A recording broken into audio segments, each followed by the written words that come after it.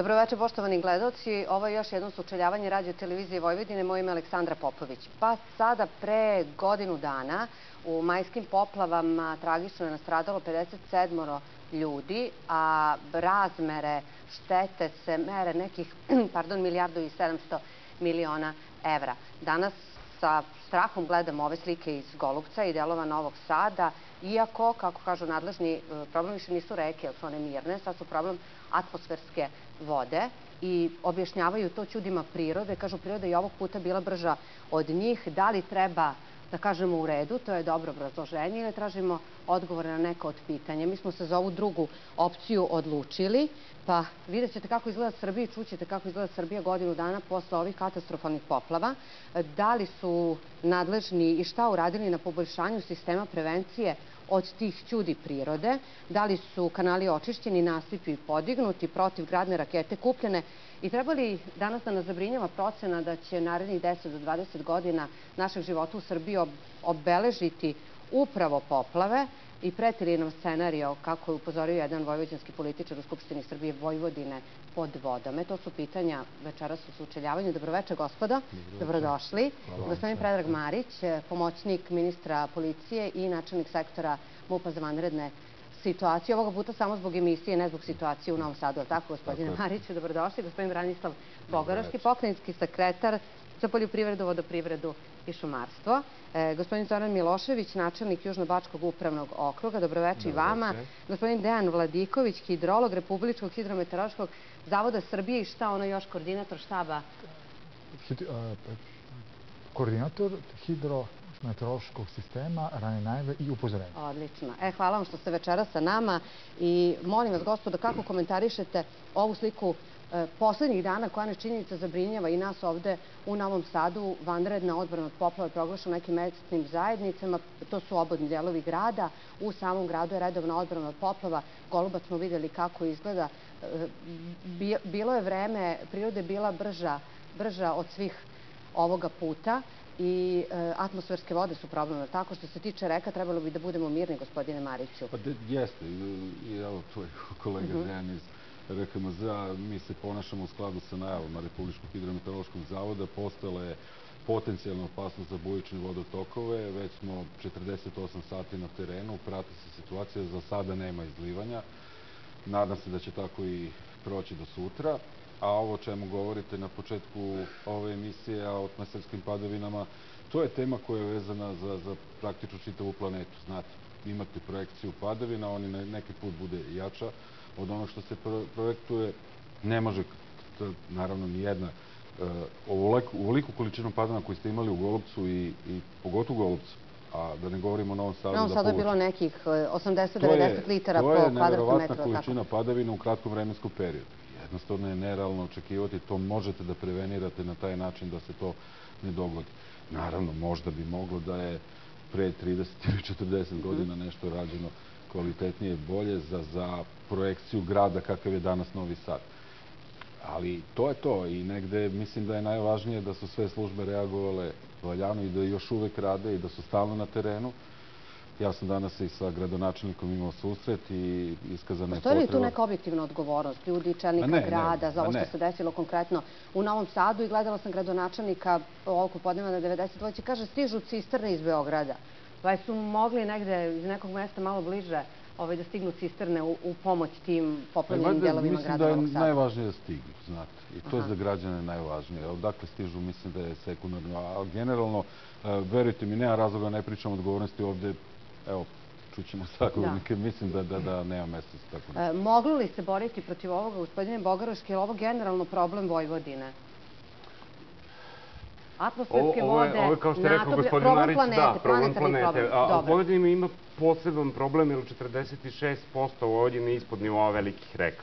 A ako uzme obzir i podzemne vode i recimo ovakve atmosferske padavine, onda 84% Vojvodine bi moglo da dođe u problem. I, da bude pod vodom, jel tako? Da bude pod vodom i jeste, zato i rečeno Vojvodina pod vodom. To samo pokazuje koliko je vodoprivreda, sistem vodoprivrede je bitan, koliko je bitno napraviti sistemsko rešenje, jer mi smo imali i dobro rešenje u, u ranijim godinama, imali smo i neki prekid od 15-20 godina kad je taj sistem jako zapušten. Evo sad imamo unazad 5 godina a, a, snažno ulaganje pokrajine, ali i lokalnih samouprava u sistem vodoprivrede. I evo, od 2010. godine do danas A, mi smo recimo samo u kanalsku mrežu uložili negde oko 4 milijarde dinara. Dobro, što to znači? Su li svi kanali u funkciji?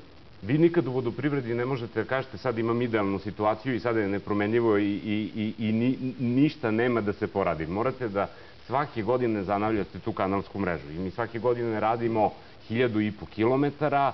A idealno bi bilo 22.000 kilometara. Idealno bi bilo Znači, vi da možemo da uradimo bar 2000 km, znači nedostaje nam novac da, da, da uradimo u, u 100% to održavanje, ali opet sa druge strane, kad pogledate da smo 2010. godine, kada su a, a količine padina bila bitno manje nego 2014. imali negde 300.000 hektara pod vodom, a, onda krenuli program spajanje naših sredstava i sredstava lokalnih samouprava, ulaganje svake godine jedne milijarde u kanalsku mrežu, 600 miliona mi, 400 miliona lokalne samouprave i 2014. godine smo imali 23.000 hektara pod vodom.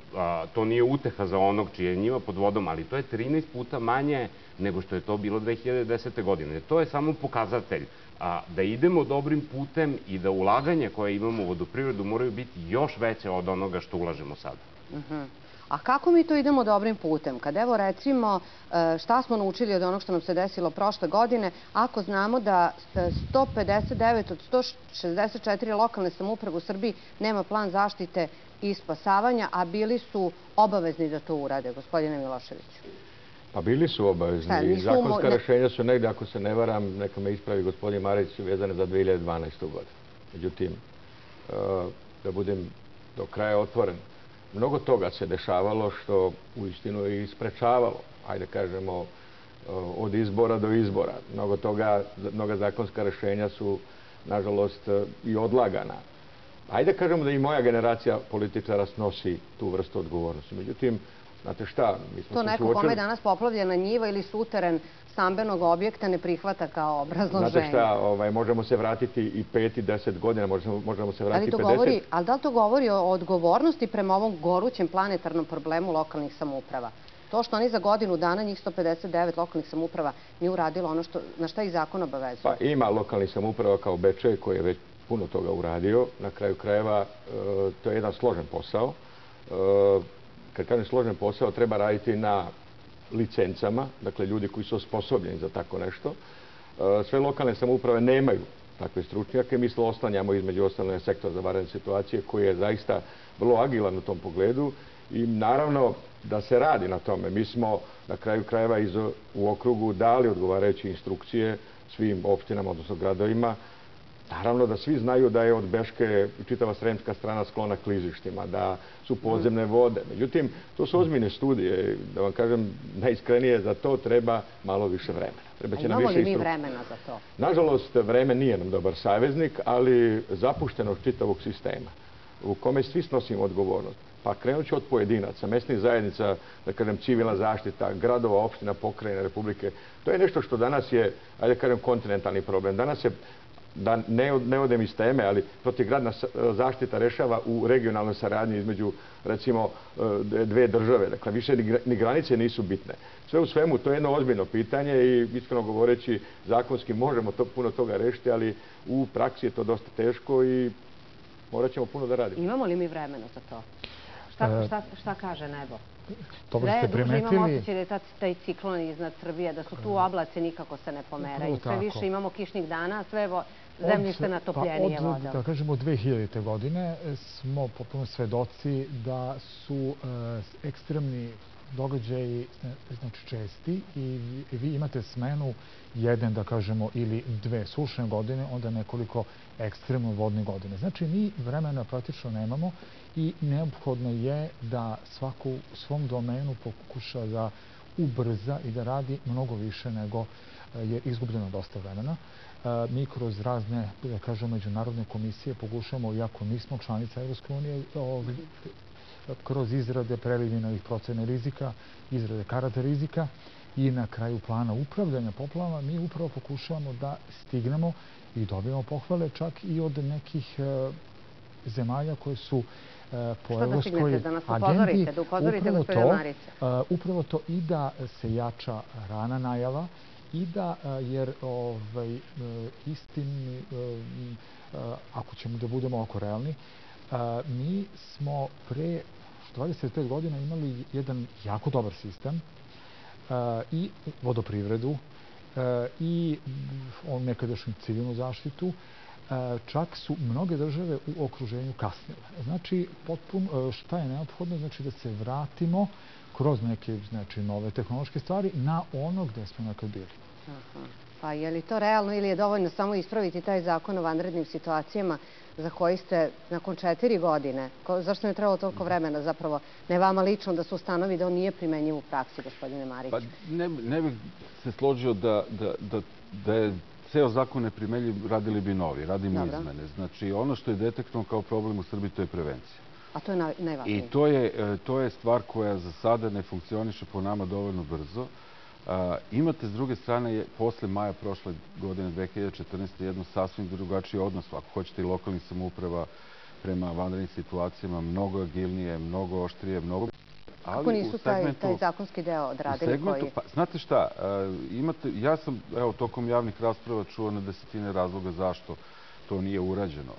U krajnjoj liniji, a, naše je da ukazujemo na problem i govorimo naglas o tome u najboljoj nameri da to menjamo. Znači, moramo radimo procenu rizika, moramo radimo planove, to moraju da rade ljudi profesionalci, znači koji se time bave i to je suština ovih delova zakona koje hoćemo da izmenimo i da uvedemo odgovornost. Znači, jednu prekršenu odgovornost za one koji te obaveze zakonske ne ispunjavaju. sužavate prostor i pravite jedan ambijent da se stvarno stvari menjaju na bolje. To je ideja kažem vam, u pogledu reagovanja stvari se jesu promenile i bilo bi čudo da se nisu promenile posle maja prošle godine. Evo, od januara smo imali nekoliko zaista baš ozbiljnih situacija sa bujičnim poplavama. Vidite jedan sasvim drugačiji odnos ljudi prema tome. Svi odnos običnih građana, odnos lokalnih odnos samouprava lokalnih samouprava, opštinskih štabova za vanredne da, situacije. Da. Tu su prosto ljudi su prepoznali da je to nešto što ćemo živeti. Ono čime nismo zadovoljni, to je kad se ništa ne dešava. Znači, tada mora da se radi mnogo više tada se previše opustimo, tako i ne uradimo ni ono što, po logici da to neće nama da se dogodi. Kaže statistika da 45 opština u Srbiji nikada ne imalo ni jedan oblik vanredne situacije. Vade ih to ljudi malo vidika pa kaže, evo, neće to nama se desi, ali...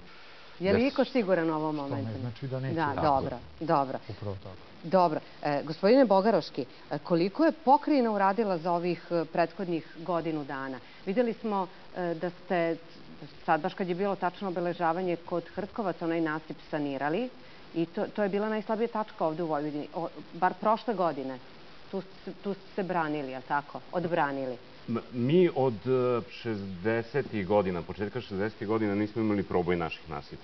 Imali smo nekoliko kriznih situacija, imali smo 2005. godine situaciju u Jaši Tomiću kada nam je voda došla sa rumunske mhm. strane, da kažem, iza leđa. Imali smo prošle godine situaciju u Jameni kada je opet voda došla iz Hrvatske, jer je probija nasip kod, kod Račinaca. naši nasipi su odoleli. A, mi svaki, svaki put kad imamo incidentnu situaciju kao što je bilo 2005. pa 2006. Tisa je bila veoma visoka, ređali su se džakovi sa peskom po njoj i sad 2014. godine situacija na Savi, gledamo da odmah sledeće godine reagujemo i da sve ono što smo očili kao slabo mesto i saniramo. I mi smo, eto, do, do 2014. godine rešili levu i desnu obalu, ti se ne u potpunosti, ali sve one krizne tačke. Rešili smo a, tog tamiša od Sečnja do Rumunske glanice, uradili smo desnu obalu BG, radili smo na desnoj obali DTD kanala, a ove godine u planu imamo da uložimo neki 240 miliona dinara. U pitanju su radovi koji su se izvode kod Hrtkovaca, tu neki 2,5 kilometra a, a dižemo nasip metar i po u visinu i sa 4 metra ga širimo na, na 6 metara. Imamo tri lokaliteta u samoj Sremskoj Mitrovici, a moramo da zanovimo trpne stanice Lipac 1, 2 i Bosud, koje su povukle najveći teret kada smo imali problem sa Jamenom i pripremamo jedan, jedan plan u slučaju da nam se ponovi situacija iz 2014. godine, jer a, bez namere da plašim bilo koga, pojavila se napuklina na, na nasipu Kodračinaca u Hrvatskoj, znači na istom onom mestu gde je prošle godine probila voda i zbog toga moramo da imamo neki rezervni plan ako dođe, ako se to ne sanira na vreme, jer počele su kolege iz vodoprivrede Hrvatske da, da rade neki 5 km nasipa, ali ako dođe do porasta vodostaja Save, ukoliko bude problema sa njihovim nasipima, pravi se dakle plan jednog lokalizacijonog nasipa koji bi ovog puta uspeo na vreme da, da zaštiti Jamenu. A, 37 miliona je stiglo iz, iz Kancelarije za obnovu, a, mada smo pričali o 400 miliona dinara, jer toliko nam je trebalo da saniramo sve, a, ali nema veze, svaka pomoć je dobrodošla, ostatak se stava je odvojio pokrenjski sekretarijat. I, i, i, i hteo bih da kažem jednu stvar koja je užasno bitna. Poenta celog sistema odbrane od poplava jeste da gospodin Marić ima što je moguće manje posla. A, a, potrebno je da uložimo novac, jer sve što uložimo će biti daleko, daleko jeftinije od svakog ljudskog života, a da, da ne kaže materijalne štete. Znači, mi imamo situaciju da se šteta u nekim lokalnim samoupravama merila milijardama, a da radovi koji su mogli da spreče tu štetu su koštali možda i deset puta manje. Pa da, a da recimo, sektor zvane situacije na svoj budžet, a imali ste budžet od 5,5 miliona, posljednji put kad smo se ovde da. videli u sučeljavanju pre nekoliko godina, ste upravo na to upozoravaju. Da, tad sam. Da vi, nema, da, da, da vi nemate, ali vi danas imate isti problem. A mi smo prošle godine imali štetu od milijardu i 700 miliona evra. Znate šta? I 50 ovaj, ljudskih života izgubljenih. Uh, jest, i to je fakat. Ali s druge strane se stvari menjaju.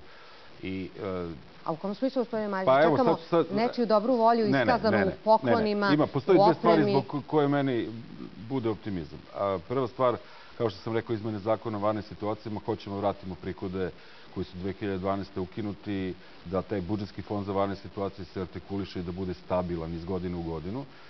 I druga stvar za, do koje ja jako držim je posao koji radi kancelarija gospodina Marka Blagovića, znači projekcija jednog održivog sistema finansiranja za ceo sistem u Srbiji. Znači prvi put da razmišljamo o budućnosti, ne samo o sadašnjosti i ja mu zaista držim palčeve da taj posao izgura do kraja kroz zakon, kroz definisanje načina finansiranja, odgovornosti i svega ono mhm. što, što o čemu će se sigurno govoriti u Srbiji puno u narednim e, mesecima. A šta, kad kažete način finansiranja? Šta to znači? Znači, morati taj neki budžet da puni i lokalne samouprave i neka privredna društva? Znači? To je ono o čemu smo sad govorili, da prekinemo s praksom da samo nadoknađujemo štetu, ne uložimo u preventivu, nego da razmišljamo drugačije, da potpuno svest promenimo i da ulažemo u preventivu da bi šteta bila manja. I da nađete izbore za finansiranje ne samo u našoj zemlji i vanje.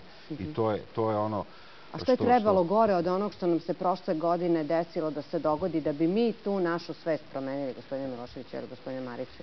Pa Vi radite sa, sa nama običnim ljudima, civilnim sektorom. Mnogo treba uraditi. Ja ću samo navesti jedan primer. Republičko ministarstvo u poljoprivredi izdvaja negde oko 24 e, milijarde subvencija. Znači to je oko 200 miliona evra. Sad zamislite, ako bi se u pravom smislu zasnovao jedan, partnerski odnos između onih koji primaju subvencije, osiguravajući društava, tu bi se država negde izgubila. Ja bih rekao da država ne bi morala uvek da rešava pitanje obeštećenja bilo koga, da li su to malinari ili su to ratari koji su pretrpeli neku štetu. Mi, nažalost, očekujemo da sve rešava država. E, moramo uključiti što više partnera u čitav taj posao. E, neki drugi zakoni, koji, odnosno neka druga pravila koja su usvojena i u ovom sazivu Skupštine, idu na prevenciju gde recimo o varenim situacijama upoznajemo pre svega decu u osnovnim i škola. Mi smo zajedno odradili jedan priručnik koji je na području Vojvodine štampan na svim jezicima nacionalnih manjina. Dakle, govorimo o tome da ni svest pojedinca, ne sada institucija, organa i tako dalje, svakog čoveka u Vojvodini i, pa kažem, u Srbiji, ovaj, izgradimo na takvom nivou da nam zapravo svest bude da varene situacije jesu nešto što nam se dešava i da naš kvalitet života može svakog trenutka biti ugrožen. Da, a šta, šta tu decu, šta je u tim priručnicima? Mislim, kako, kako da. je to gradivo? Šta učite tu, šta pa, planirate da naučite decu? Sa misijom OEPS-a uh, uradili smo jedan priručnik koji zapravo edukuje decu još negde 2013, ako se ne varam, uh, gde ih upoznajemo ne samo sa poplavama, požarima, uh, hemijskim incidentima, zemljotresima. Dakle, ponašanje pojedinca u tim situacijama. Reklo bi se da su to neke lekcije koje smo mi znali, naučili, međutim, moram priznati da osim entuzijazma i moram priznati u ovoj godini e, e, varednih situacija 2014. gdje smo hiljade i hiljade ljudi vidjeli na jednom poslu prepunog entuzijazma, nekada je nedostalo i malo profesionalizma i njihovog odnosa. Neki su krenuli u patikama i, i farmerkama da brane nasipe. Zaboravili su čizme, kabanicu, rukavice ili tamo dnevno sledovanje obroka ili, ili vodu. Dakle, to je nešto što govori da smo morali čak na nivou pojedinačnom, ne samo institucionalno raditi kada je u pitanju odnos Da, ali isti ti pojedinci, evo recimo u Tovaričevskom kanalu opštini Pećinci, taj kanal je pretvoren u divlji rivnjak, 13 km je dugačak, i jedan od većih kanala u Sremu pregrađen na dva mesta u koritu napravljen divlji ribnjak. Znači šta? Da, da, hvala, gospodine Da se neko bavio ovaj, e, to su ti isti pojedinci. svih tih uh, slučajeva, uh mhm. -huh. ovaj, to, to bi bilo velika knjiga, verujte. Najneverovatnije stvari možete u Srbiji da vidite od toga da neko prokopa kanal da bi mogao lakše traktorom da prođe preko toga da zasadi Ali ovo, ovde, ovo što je gospodin Marković Milošić rekao, oproste, jako je važno, jeste priručnik koji je rađen sa OEPS-om i s naše strane nešto što je dobro, ključno je obrazovanje. Znači, prvi put ove godine Ministarstvo prosvete uzelo obavezu na dobra ove godine napravi nove nastavne planove i programe za osnovne škole. Ja zaista posle pet godina pokušaju da, da, da se te stvari promene i željno iščekujem da deca, naša deca počne da uče o tome kako da se sačuvaju. Tu se pravi svest. Tu se onda pravi ovo da nemate slučajeva da neko ovaj, radi ono što radi sa nasipima u Srbiji. Da ne pričamo o komunalnim stvarima kao što je mhm. bacanje smeća koje je poprimilo... Komšija mi zatrpo jendek ispred, ispred kuće, da, pa, pa mi sad sutradan potoplje. I ovaj, ovaj primer dramatičan zaista iz tog kanala opštini Pećinci. Gospodine Bogarovski, je li inspekcija izašla tamo, je li izašla kaznila, ko je to uradio, ko se drznuo tako nešto da uradi? Preduzet ćemo sve što je u našoj ingerenciji, podneti prijave, vidjet ćemo da li ima elemente i za krivičnu prijavu. To je kanal mm. koji smo mi inače sanirali pre neku godinu iz sredstava Svece banke i, i, i to je jedan od regionalnih kanala. Nekom je palo na pamet odnosno ljudima iz opštine Pećinci, da u cilju obeležavanja nekog jubileja organizuju takmičenje u pecanju tako što su regionalni kanal pregladili na tri mesta i to širini od 13 metara. Na jednom delu podigli nivo 2 metra, na drugom delu ispustili vodu. šta da je kiša koja je pala u Kovilju, pala kod njih? Pa šta bi bilo? Mi smo isti dan reagovali, poslali mehanizaciju i srušili te barijere. Ali šta da je kiša pala kod njih? U Kovilju je palo 164 litre kiše za jedan dan. Šta bi se desilo sa pećincima i ko bi onda bio kriv? Ja mislim da ljudi nisu dovoljno svesni šta rade kad rade takve stvari. I, i isto tako, ovo, ovo je jedan drastičan primer, ali a, mi ali imamo veliki problem sa bacanjem šuta, bacanjem da smeća u, u, u naše kanalima i znamo ih, nažalost. A, imali smo u, u, u februaru i martu mesecu obilazak terena gde smo dobijali primetbe, evo recimo jedna od tih primetbe bila na teritoriji a, Novog Sada, zašto bacate tolike pare u saniranje kanalske mreže kad mi tu bacamo šut? Ja ne znam šta da odgovorim na tako nešto. Da, dobro, dobro. Šta bi se imali? oštro funkcionisanje. Znači, A je to to? Je to to? Upravo to, to. Odgovornost, šta znači kaže? Šta znači oštro funkcionisanje? Po komunalnim delatnostima precizno definisane kazne. Kad neko baca smeće, znači, pazite, tu se po Srbiji dešava a, svaka poplava na površinu izbaci toliko PVC ambalaže da vi pomislite to je jezero. I to smo mi. Znači, s time, znači, ne može se reći ne postoji zakon, ne postoji, samo treba da počne se primenjati. A da li je ikada iko od vas čuo da je neko kažen zbog bacanja PVC otpada ili smeća? Ja sam se raspitivao, verujte mi, i imam nagovešte da će u nekim opštinama početi sa kažnjavanjem. Ako dozvolite, kao pedagog, profesor, E, daleko je važnija prevencija. Možemo kažnjavati, to je jedan deo posla. Verovatno neko snosi odgovornost i u Kovilju i u Futogu što je uh, jedan kanal pregradio i tu odlaže recimo priključe mašina. On smatra da je to njegovo vlasništvo. Dakle, i to je nemar, ali da budemo do kraja otvoreni. Sve dok to ne spustimo na nivo škole, pojedinca, koji će videti zapravo šta znači činiti takve stvari u odnosu na zajednicu. Pa E, to izaziva opštu katastrofu. Mi kao da nemamo svest koliko jedan bezazlen eto, pregradili smo, napravili smo ribnjak, neko je pregradio kanal, odložio svoje poljoprivredne mašine i izazvao katastrofu. Nema tog e, premijera, nema tog gradonačelnika grada Novog Sada i stotina ljudi, javne preduzeća koji mogu da reše problem zato što je neko zagradio prirodno oticanje vode. Dakle, mnogo moramo raditi na prevenciji, a kazne naravno, to je nešto da. što mora ići paralelno s tim. Ali te atmosferske vode su naš najveći problem u, u budućnosti. Je li to previše dramatična procena će u narednih 10 do 20 godina poplave ugrožavati celu Srbiju ili ne? E, pa evidentno je da Ali ćemo se suočavati. Ali koje uzrokuju te atmosferske vode? Upravo e, jako povećano zagađenje. Vi imate da pet e, najvećih svetskih zagađivača nije potpisalo protokole koje će redukovati e, to veliko ispuštanje otrovnih materija. E, znači, polazi se i od tih, pa da kažem, velikih, nazovimo ih sila, i mi ćemo u budućnosti imati sve više, kao što sam i znači, znači naglasio, tih ekstremnih pojava i neophodno je da se primjeni princip koji se zove živeti sa poplavama. Znači, vi u razvijenim državama imate... Znači, Ajte nam to plastično, znači, što plastičnije objasnite. Šta je neophodno? Znači, znači ove, nije apsolutno moguće da vi svaki pedalj, da kažemo, zemlje Srbije, ove, načinite i da bude potpuno bez vode. Znači, ipak je potrebno rezervisati i neke određene delove, mi to zovemo retenzije stručno, e, mi smo tu zakazali na određenim tokovima, vi ćete rezervisati određene površine koje su za prihvat vode.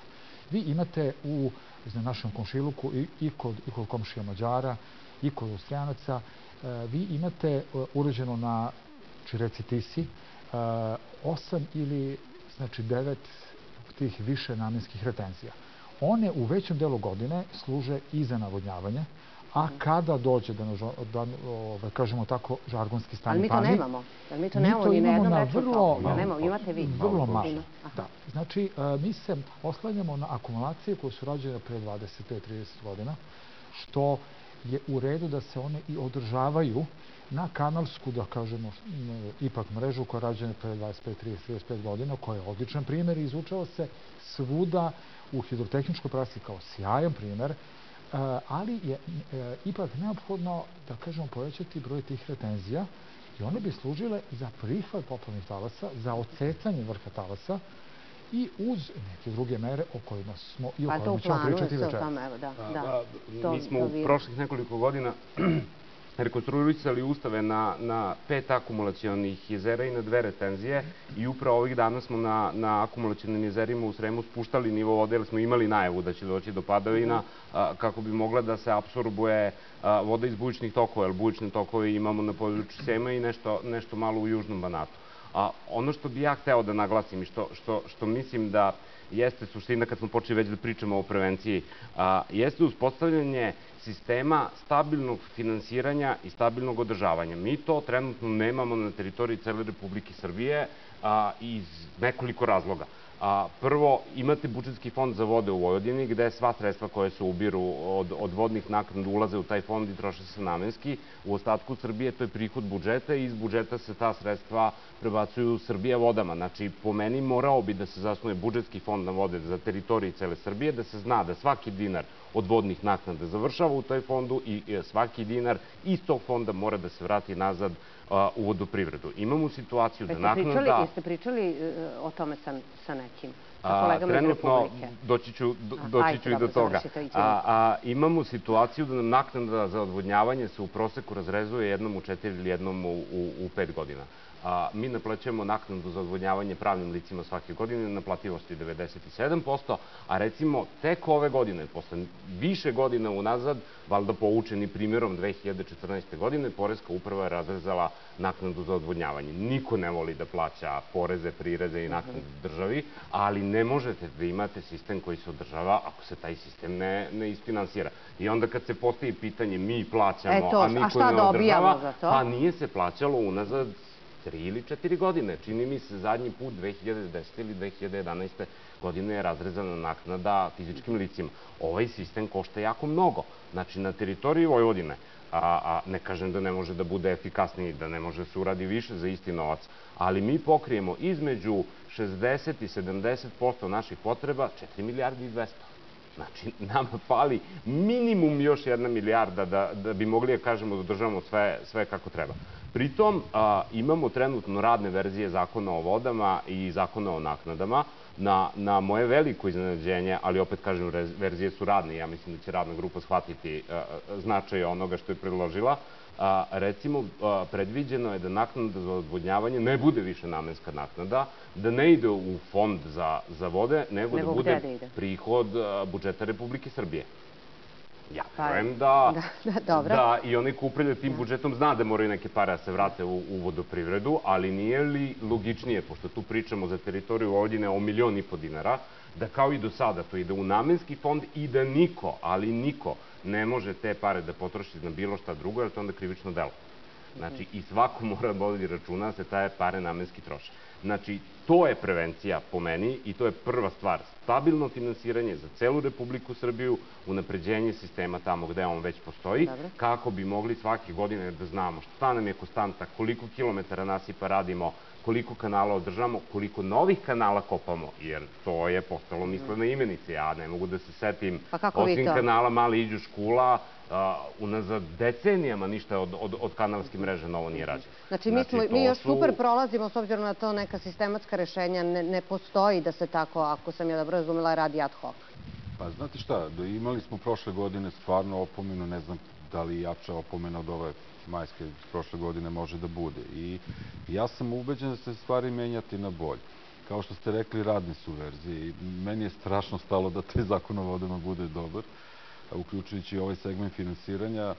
Negde sam vas slušao i pomislio kako je to slično i sa budžetskim fondom za varne situacije. Morate imati neke namenske novce i da, da imate kontinuitet i to su dve ključne stvari. Ali, e, znate šta, da, pogledajte, evo, sami ste rekli, koliko godina novi kanali nisu rađeni. E, imate od 2006. smanjenje izdvajanja za potrebe javnih preduzeća koje se bave gazdovanjem vodama u Srbiji. I onda vam to dođe na naplatu 2014. I naravno se svi u Srbiji zapituju kako je to moguće. Ali ko onda nema sluha da, za, za sve ove stvari, sve ovo o čemu pričamo danas? Kako je moguće? Evo godinu dana od onih strašnih događaja. Pa čekajte, da, da, sad da, istine radi, ja sam bar dva nagolištaja dao da se stvari, ubeđen sam, menjaju na bolje i da se, da se zaista shvatila poruka od prošle godine. Pre svega, rekao izmene zakona o vanim situacijama, zakon o upravljanju rizicima od elementarnih nepogodi i naknadne štete koje radi kancelarija Makra Blagovića, to su Dobre. kapitalne stvari, znači koje potpuno menjaju ugao gledanja na ovo o čemu mi danas pričamo. A kada će oni stići recimo na Skupštinu Srbije? Ja se nadam, ja sam možda uvek pretirano optimističan. Da, da, da. Nadam se do kraja juna zakon o mhm. situacijama. Gospodin Marko Blagović isto ima zacrtane kratke rokove i ja bih volao u prvoj polovini ove godine. I to je bilo jako dobro. Mhm. Znate, imate dva sistemska zakona koji su potpuno... I plus zakon o vodama koji bi kad Zakon o vodama koji bi trebalo da se usvoji do kraja ove godine, počne da se primenjuje Ali... 2017. i zakon o naknadama, da, što je jako bitno. A to bi trebalo bude kompatibilno sa ova dva zakona, zar ne? I još jedna stvar, izvinjavam se da. što, što, što prekidam.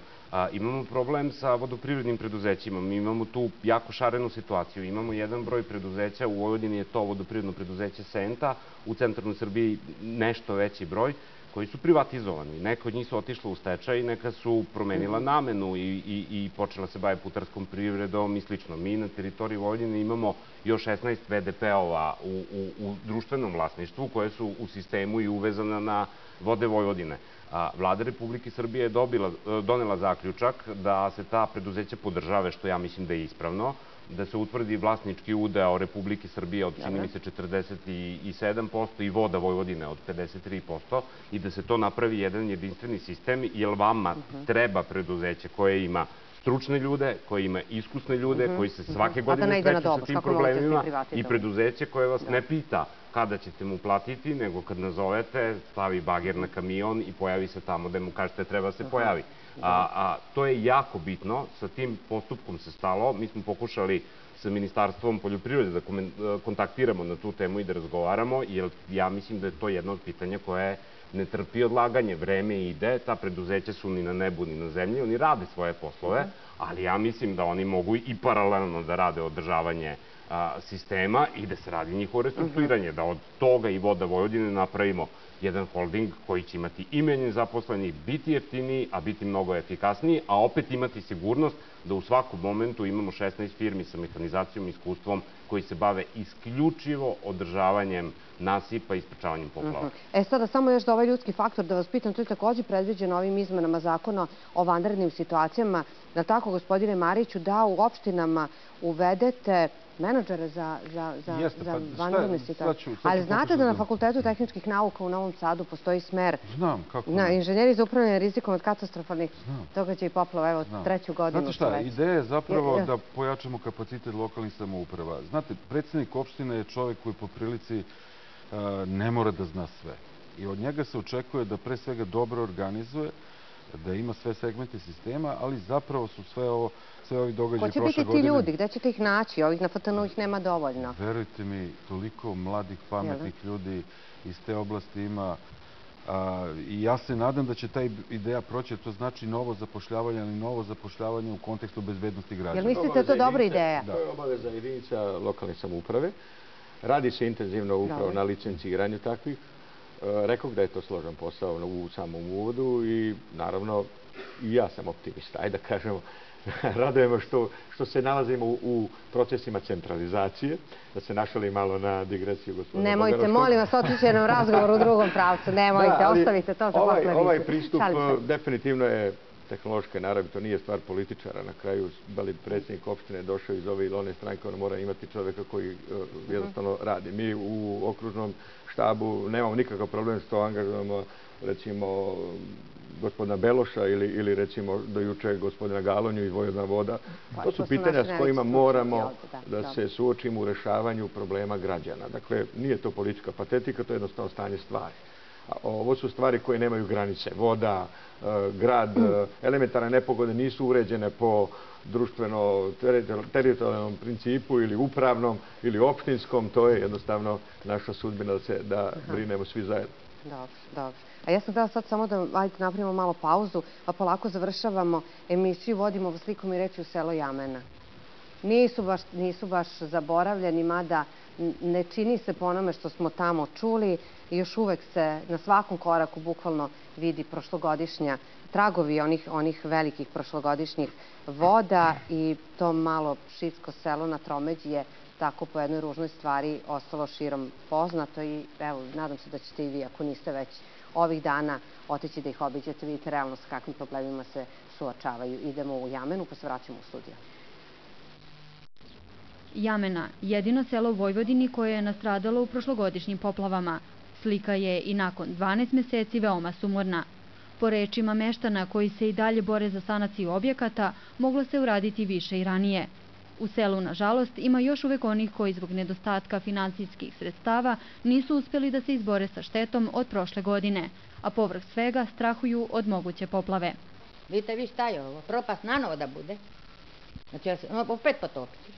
Šta će biti, ko zna? Nažalost, nasramotu, prava jamenka rođena, ostarla ovde. Ništa, nikome ne gleda. Obnovu kuća u selu Jamena dobile su ukupno 23 porodice, među kojima se našao i naš sagovornik, koji se prisjeća kako je to bilo prošle godine kada su čamcem došli do svoje kuće.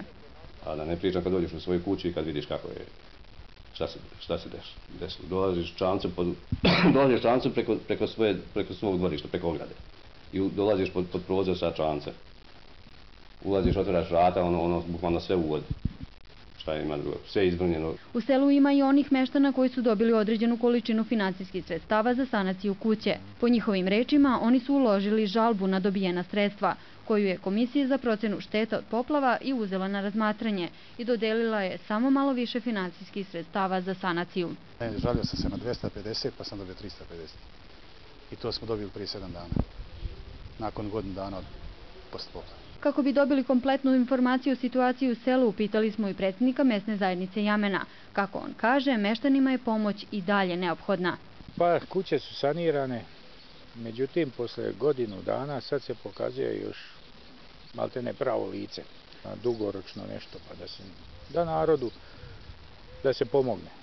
U ovom selu punom meštana koji se i dalje bore oko sanacije objekata, uređivanju oranica, suočavaju se sa problemima oko kanala za atmosfersku odvodnju, koji po njihovim rečima nisu najbolje odrađeni. Voda se zadržava u novo iskopanim kanalima, koja zajedno sa pojedinim njivama daje sliku sumorne jamene kojoj je neophodna pomoć.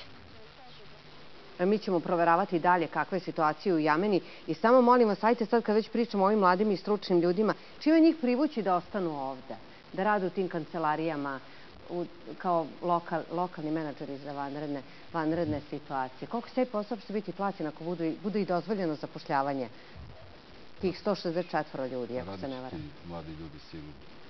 Aha. Bilo bi neophodno da iskoristimo ipak priliku da donosiocima odluka skrenemo pažnju da ako im ne obezvidimo adekvatne uslove da će oni kao i mnogi drugi ipak otići i Gde pronaći idu, neku... Pa odlazi se iz, iz za Kanadu, Nemačku, čak uh -huh. i mhm. za na Novi Zeland, da bismo to znači, sprečili da pokušamo da stvorimo ipak ambijent, ako se vidi o, ipak neki znači benefit u sledećim godinama, da malo tu odluku o smanjivanju ili redukovanju zapošljavanja mladih ljudi, da malo mhm. izmenimo. Pa I da njima pružimo šansu, jer će se to više struko vratiti. Svakako. Prvo da rešimo protivgradne strelce, to je da. istinio problema. Da im platite, da, da, da. Da im povećate dnevnice, da im povećate dnevnice, gospodine Bogaroš. Ne, novac postoji, ali, ali zbog zakonskih rešenja trenutnih lokalne samuprave ne mogu da zaključe ugovor mhm. sa tim strelcima i mi sad imamo problem, to je informacija od ponedeljka a, otprilike neka trećina strelaca i dalje odbija da potpiše ugovor, jer su to stvarno simbolično novac. Najveći problem u Vršcu i u Pančevu, tu nam 3 od, od 14, odnosno 4 od, od 18 stanica samo radi. A, a, to je definitivno problem administrativne prirode koji može da napravi takvu štetu da ćemo posle opet da se pitamo zbog čega smo došli u takvu situaciju, a, a, a, a problem je, blago rečeno... B, mislim, da kažem. Bezvezan, da, jel, dobra. Banal. I kako vi sad to objašnjavate gledalcima koji se plaše šta će sutrašnja kiša doneti da vi postoje smetje na vezama, recimo, pa, pa. između vašeg sekretarijata i pokrenjskog resornog ministarstva. Kako je to moguće? Mislim, Mislim, očigledno je ja, moguće, vi ste sami ja, to rekli. Ja, ja, mogu, ja mogu da se pitam kako je to moguće, jer mi smo tražili tačno 11 puta sastanak po raznim temama. Neke od tema su bile i protiv gradne zaštite, mada nije naša nadležnost, ali, ali mislimo da treba da pomognemo ako možemo Evo, da pomoć paurima da naprave one protiv gradne mreže. Mnogi nemaju Tako novca je. za to. Ili imate mogućnosti da im pomognete? 800 miliona smo uložili u zadnje tri godine u protiv gradne mreže. Negde oko, oko 1000 hektara smo Šta vi to pravite uradili. njima, jel da? Mislim... Ne, mi to subvencionišemo. Mi plaćamo 50% troška onome ko stavi protiv gradnu mrežu. Ali to vam je rešenje za moderni voćnjak. To nije rešenje za kompletan mhm, natar -huh. i za, mhm. za sve poljoprivredne površine. Pošto ulazimo očigledno u politički rov. Pa sve nam, da. sve nam je to, kako Naravno, da vam kažem, da ja to kako god da okrenemo, ulazimo u tu sferu. Gospodin Bogaroški ima, siguran sam, dosta smisla za to. Ali, ajde krenemo malo od početka. Znate, nije problem uh, danas vršac i ono što se... Ajde kažemo šta je bilo 2010. 2011. godine. Kako je čitav sistem protivgradne zaštite, recimo, došao baš u nadležnost gospodina Marića recimo. Da li je to da. bilo logično? Dakle, to je neko vreme koje je unelo deformaciju i danas. Naravno da ja verujem da će zakonskim rešenjima to biti rešeno. Zašto? Zato što to nije velika investicija. Ajde da budemo realni. Koliko god da imamo hiljada hektara puta 2 evra, toliko košta protivgradna zaštita ako gledamo troškove raketa. 13.000 komada puta 30.000 da. dinara, 490 miliona, to je 5 miliona, samo nas košta. Dakle, možemo rešiti zakonskim rešenjima, ali smo učinili nešto loše u samom početku kada smo to poverili nekome ko objektivno ne može, pa da kažemo, izađe iz tog začaranog kruga. Jednostavno, to nije trebalo da se nađe u nadležnosti sektora za varenu situaciju. Mislim, molim vas, možete, slažete se i na kraju ništa od toga. Stiče se utisak da je to, da je to problem 2015. godine. A kako nije pa, problem ako pokretni sekretarijat i resorno republičko ministarstvo ne sarađuju? Kako ne vidite to kao Nema sad to veze sa tim. Ovo ima veze da imamo uredbu na, na, na, na snazi koja zabranjuje zapošljavanje na privremenim povremenim poslovima preko određenog procenta. Na, znači, uredba se relativno lako donosi i može da se reši taj problem pare postoje, postoje obučeni ljudi. Ti te obučeni ljudi moraju da se angažuju. I šta je znači, problem onda? Nije bitno da li je problem nastao 2010. Problem je da sada imate stanice koje nemaju strelce. Šta je problem? Svi traže od vas odgovor i vas. Evo, nekoliko rečenica samo u prilog svemu. Znači, prvo, izgubili smo 92 zakonski osnov za bilo šta što se tiče zaštite od grada. Da. Ne postoji zakon, da se odmah tu razjasne stvari. Znači, nije problem sada ni ugovor ni, ni, ni, ni ugovori o delu sa strelcima, problem je bio u tome što niko nije hteo krši zakon. Nije to htelo da radi e, ni, Republički hidrometeorološki zavod, jer je dobio od revizora pretnju da ako bude isplaćivo sredstva bez zakona, bit će u problemu. Problemu su lokalne samouprave sa istom pretnjom, Znači, imate jedan, kako bih rekao, imate sada demontažu jednog problema koji traje, eto koliko, od 92. do danas. Šta treba uraditi? Znači, podhitno, i to se nadam da će za 15 dana biti u Skupštini, zakon o ministarstvima, zakon o odbrani od grada.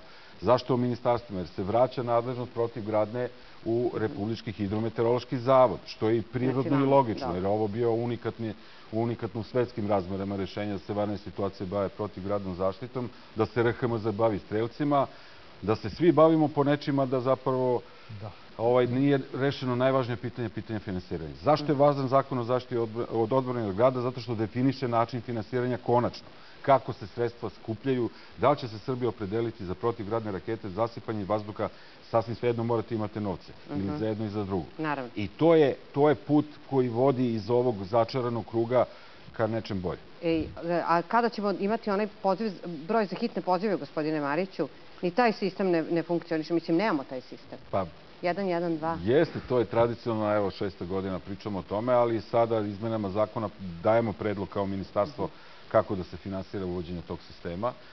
Vidjet ćemo kad to dođe do Skupštine. E, taj ili bilo koji drugi sistem, ono što je važno, ja prepoznajem političku volju u Srbiji da Srbija treba da ima sistem 1, 1, 2, ne zbog toga što je to tehnički uslov Srbije za Evropsku uniju, nego zbog kvaliteta života građana.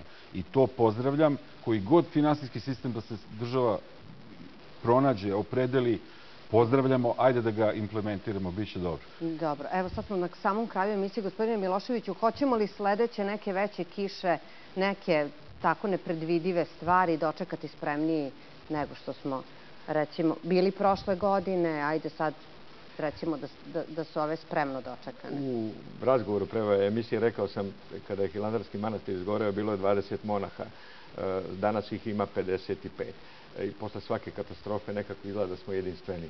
Nekako stičem utisak da shvatamo zapravo svi mi ozbiljnost i ako izuzmem malu ekskurziju političku, mislim da lokalne samouprave, pokrene, republika čine jedinstven sistem i to je, mislim, e, size ovog razgovora. E, zaista svi moramo poraditi na tome. Počevši od onoga čoveka koji je pregradio neki potok napravio ribnjak ili, ili kanal ili neko ko uči u školi svemu tome, neko ko će specijalno se baviti ime kao savjetnik gradonačelnika. Dakle, naša svest mora da bude u tom pravcu da ako nešto već ne možemo da izgradimo, bar da sačuvamo. Dakle, jesam optimista i verujem da nas sve manje to iznenađuje, bez odbira i na upozorenja o klimatskim promenama. Naprosto, i ja moram da vodim računa o 1450 km nasipa, 20.000 ovaj, e, km kanalske mreže, 155 crpnih stanica. Dakle, to je moja briga. Ne samo da. gospodina ministra, nas. Gospodin Bogorovski sad kad počne da nabraja u čemu sve on vodi računa. Verujte da ćemo sledeće nepogode dočekati spremniji ako napravimo dobru osnovu, dobar ja, zakon... Hoćemo li? Pa ja ne vidim razloga da bude drugačije. Mislim, sve ostalo mi zvuči iluzorno. Posle 2014. godine mislim da se pokazalo da svi treba da mislimo u istom pravcu, da nađemo najkvalitetnije moguće rešenje, spasimo ljudske živote. Mislim da, da, da, da nije to pitanje novca, nije to pitanje politike. To je pitanje hoće li neko plati glavom ili neko neće plati glavom. Gospodin Vladiković, ali nas očekuje ovog glata više kiše nego sunce? Pa na osnovu sezonske prognoze, možemo reći da će sledeće leto ipak biti ovo, za ovo nijansu, sad, tako je, narodno leto, će da. biti za nijansu toplije i da kažemo suvlje, što će nam odgovarati svima, ipak da nastavimo u ovom upravo pravcu i da izmenimo i, da kažemo, zakonske i, i ostale preduslove da bi kompletan sistem odbrane od znači poplavu u ovoj zemlji sjajno funkcionisao. Mhm. Hvala vam. I gospodin Mariću, vama hvala što ste niste došli praznih ruku u Novi Sad, doneli ste robototehnički kompleks, jedan kamion za tehničke intervencije. Pa Još nešto? To je početak e, e, naše dobre saradnje sa Srpsko-Ruskim humanitarnim mhm. centrom u Nišu. To je donacija Ministarstva za vane situacije Ruske federacije, vredna 9 miliona 200 hiljada dolara. U sve veće gradove Srbije su ta vozila otišla i to je... Hoće još negdje u Vojvodini biti? Biće, biće još novih donacija, to nas jako raduje i verujte mi... Ove mašine zvuče ozbiljno, ne znam čemu služe. Roboti služe inače za hemijske akcidente, kilometar i po imate džojstik koji možete da upravljate mhm. robotom i da ljudi ne budu neposredno ugroženi. I to je strateški tako i podeljeno da bude tamo gde, ima hemijska industrija u Srbiji. Hvala vam puno i sledeći put da se vidimo u ovom sastavu kada zakonska rešenja budu na stolu da imamo o čemu konkretno da pričamo. E, vidimo samo do septembru. Hvala vam, poštovani gledalci, do sledeće srede. Prijetno večer i svako dobro.